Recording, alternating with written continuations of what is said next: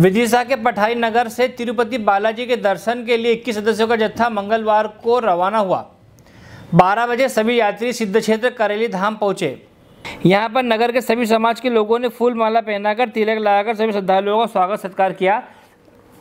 इसके बाद सभी यात्रियों ने पठारी के प्रसिद्ध मंदिर करेली धाम से विराजमान श्री वीर हनुमान जी महाराज के दर्शन कर बीना स्टेशन रवाना हुए, बीना के संपर्क क्रांति एक्सप्रेस से तिरुपति बालाजी के लिए रवाना हुए।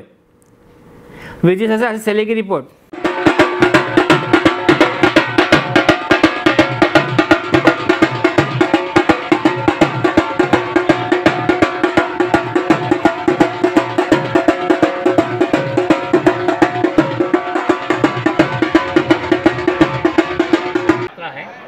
हम लोग हर साल जाते थे तिरुपति और साउथ में जहाँ यहाँ तीर्थ स्थल हैं, वहाँ जाते हैं।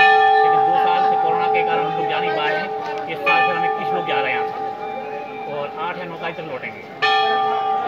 क्षेत्र की अच्छी मंगल कामना, खुशहाली के लिए सभी अच्छे रहें। इस भाव लेके जा रहे हैं।